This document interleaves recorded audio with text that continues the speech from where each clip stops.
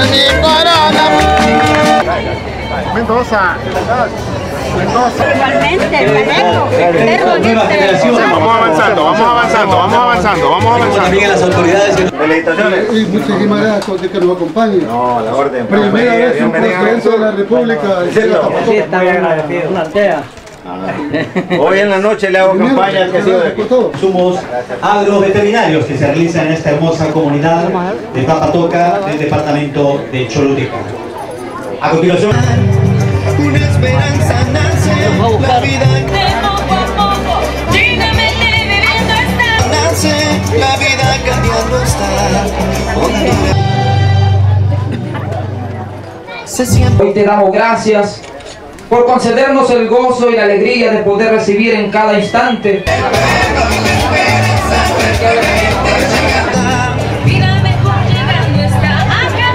las notas sagradas del himno nacional de Honduras. Y el señor de productos agroveterinarios.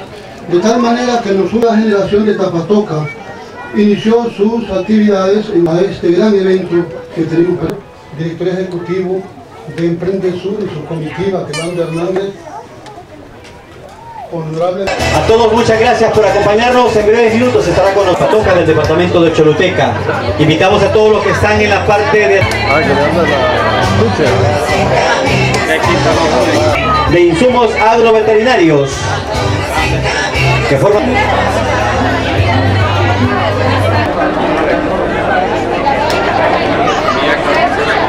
para la producción agrícola y para la cría de animales en esta región. Le damos un fuerte aplauso. Lo hicimos, pero vamos por más cambios.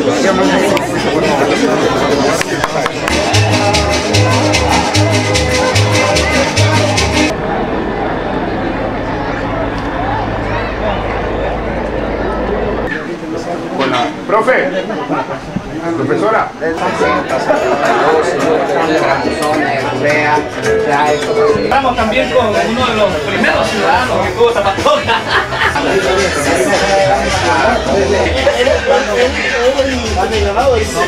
hemiclina, eh, oxitetraficlina y tenemos violeta.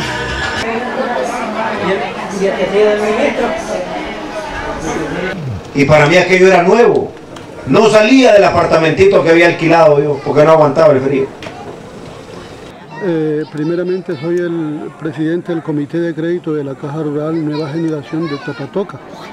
Esta caja inició en el 2001 eh, para ofrecer productos eh, financieros, préstamos personales, préstamos hipotecarios, préstamos fiducia- fiduciarios para favorecer la economía de, de los locales y las comunidades alrededores. Pero hace cinco años para acá eh, eh, sentimos la necesidad de vender productos agroveterinarios a la población porque hay muchos ganaderos y agricultores en la zona que ellos tenían que ir a San Lorenzo, a Tegucigalpa o a Choluteca a adquirir los productos y hoy les estamos ofreciendo en el lugar productos frescos y de buena calidad. Ya directos tenemos 44 miembros de la Caja Rural e indirectos tenemos más de 2.000 eh, a nuestros alrededores. ¿Qué le parece esta iniciativa del Gobierno de la República junto con el presidente Hernández trabajando? Me parece excelente porque este fue un financiamiento del Fondo Internacional para el Desarrollo Agrícola, eh, con quien Emprende Sur tiene un convenio, el presidente de la República y a través del Congreso Nacional que, que se hizo la gestión, eh, eh, y nosotros fuimos beneficiarios con una cantidad de dinero en la cual nosotros pudimos más del 50% para tener una- un edificio y una tienda de insumos también. Bueno, muchas gracias, felicitaciones. Y Yo espero que también en los próximos días ustedes se integren a estos eventos que tenemos de agronegocios para seguir abriendo oportunidades para que ustedes puedan ir mejorando sus condiciones. Vamos a empezar una nueva etapa en la vida de los hondureños. Tierra tenemos, gente trabajadora tenemos. Necesitamos agua, buenas prácticas y abrir la mente para darnos cuenta que hay que cambiar. Todo evoluciona en la vida. Y en ese sentido, por eso también estamos aquí en Tapatoca. Para decirles que admiramos lo que han hecho hasta ahora, pero para decirles que hay más potencial que queremos seguirlos apoyando. Le preguntaba al presidente ahorita, ¿cómo está la cantidad de quesillo o de productos lácteos que venden a El Salvador. Ya me contaba él, pero orgulloso también me dijo, se dice por ahí que un día entero de compra de quesillo en Tegucigalpa, Tapatoca es responsable de eso. Eso- Ahora, a manejar bien el agua, a montar bien los sistemas de crédito, abrir los mercados nacionales, los extranjeros y a tener nuevas prácticas. Ese es el futuro. Pero ustedes ya tienen un paso adelante. Ya se han posicionado en un rubro muy importante. Y aquí estamos para apoyarlos. Qué bueno que está Emprendesura aquí. Estoy luchando por otra tierra olvidada de Honduras, por los gobiernos que han pasado. Además del sur, ha sido la zona de Occidente. Pero ya en Emprendesur hemos venido trabajando desde que también fuimos allá por Roma a promover el tema con FIDA, que usted lo de ellos. Vieron cómo cuesta arrancar estas cosas, pero qué satisfacción siente uno cuando ya están dando sus resultados. Entonces el sur ya tiene su Emprendesur, pero la zona de Occidente donde vivimos los lencas no tiene todavía ningún pro Occidente ni pro lenca. Y molestaba aquí al ingeniero Oliva y le digo yo, ¿cuánto tiene Emprendesur disponible? El proyecto me dice el ministro que más tiene. Ah, le digo, con razón, porque el presidente del Congreso es de aquí. Ahora voy a llamar a mi amigo el, el doctor Mauricio Oliva para que me le coloque recursos a, a Prolenca y aprender también de lo que ustedes están haciendo. Estoy contento de estar aquí.